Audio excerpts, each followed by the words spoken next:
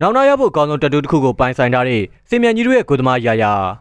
အားလုံးပဲမင်္ဂလာပါဘရန်ဖို့တင်အားဆိုရင်တော့တန်တာလာပြီးကလေးကအတင်းကြီးတွေကိုပါချင်းချောင်းနိုင်တဲ့ခြေသွားမျိုးကိုပြသထားတဲ့အတင်းသတင်းဖြစ်ပါတယ်။တုံရသည်သက်တန်းတင်ကြရင်နေသလိုရလက်ပိုင်းကလည်းမစိုးတဲ့အတင်းသတင်းဖြစ်ပါတယ်။ဒီသတင်းရဲ့ကိုပေါမှာလက်စွမ်းကောင်းတွေပြပြီးတာဝန်ကျေခဲ့တဲ့သူကတော့ဒေးဗစ်ယာယာပဲဖြစ်ပါတယ်။စပိန်သားဘရန်ဖို့မှာအထင်ကြီးလောက်စရာလက်စွမ်းတွေကိုပြသနိုင်ခဲ့ပြီးတော့အတင်းကြီးတွေမျက်စိကြရတဲ့ကိုသမားတူဖြစ်လာပါတယ်။ ဒါပြင်ဘရန်ဖို့မှာပြသထားတဲ့လက်စွမ်းတွေကြောင့်လည်းစပိန်လူရွေးစင်တင်မှာပါရွေးချယ်ခံလာခဲ့ရပါတယ်။ဦးနိုင်ဆိုင်မွန်ကိုကြော်ဖြတ်ပြီးပထမဂိုးသမားနေရာတော့မရပေမဲ့လည်းစပိန်သင်းရဲ့အရန်ဂိုးသမားဖြစ်တော့ရှိနေပါတယ်။ပြီးခဲ့တဲ့ຫນွေသေးကွက်မှာဆိုရင်တော့ရရတယောက်အသင်းမြောက်မှုဖြစ်လာပါတယ်။ဘရန်ဖို့ကသူ့ကိုအသင်းမှာဆက်ထိန်ခြင်းခဲ့ပြီးစာချုပ်တစ်လည်းကန်လန်းခဲ့ပါတယ်။ဒါပေမဲ့ရရကတော့အသင်းကထွက်ဖို့သာဆန္ဒပြင်းပြနေခဲ့ပြီးစာချုပ်တစ်ကိုလည်းလက်မခံခဲ့ပါဘူး။အစောပိုင်းမှာစပါးတင်းနဲ့ဆွေးနွေးခဲ့ပေမဲ့အပြောင်းရွှေ့ပြတ်သွားခဲ့ရပါတယ်။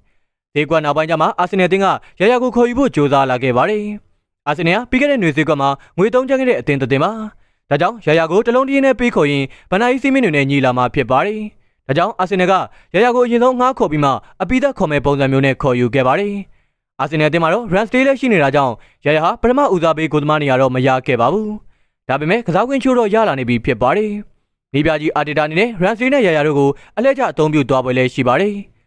အာဆင်နယ်တင်းစီရောက်လာပြီးတဲ့နောက်မှာတော့ရရရဲ့တက်တူတစ်ခုကိုနောင်တရစရာဖြစ်လာခဲ့ပါတယ်။အဲဒါကတော့သူ့ရဲ့ကုတ်ကနေဆွဲတက်တူဖြစ်ပါတယ်။ရရဟာဘရန်ဖိုနဲ့တူပရီးမီးယားလိကိုတန်တက်လာပြီးနောက်အာဆင်နယ်နဲ့ပထမဆုံးကစားခဲ့ရတာပါ။အဲဒီပွဲမှာဘရန်ဖိုကနှစ်ဂိုးကိုမရှိဆိုတဲ့ရလနဲ့အနိုင်ရခဲ့ပါတယ်။ရရအတွက်လည်းပထမဆုံးပရီးမီးယားလိပွဲမှာကလင်းရှိရယူနိုင်ခဲ့တာဖြစ်ပါတယ်။ရရကအရီနေကိုသူ့ရဲ့ကုတ်မှာတက်တူထိုးထားခဲ့တာဖြစ်ပါတယ်။ကလိုအာဆင်နယ်ကိုပြောင်းရွှေ့လာပြီးတဲ့နောက်မှာတော့ဒီတက်တူကသူ့အတွက်နောင်တရစရာဖြစ်လာခဲ့ပါတယ်။ တချို့ပရိသတ်တွေရဲ့ဝေဖန်မှုတွေလည်းခံရပြီးဖြစ်သလိုတချို့ပရိသတ်တွေကနားလည်ပေးကြပါတယ်။ရရလိုပဲတတူထိုးပြီးမှနောင်တရခဲ့ကြတဲ့ကစားသမားတွေလည်းရှိအောင်မှဖြစ်ပါတယ်။အားလုံးကိုကျေးဇူးတင်ပါတယ်။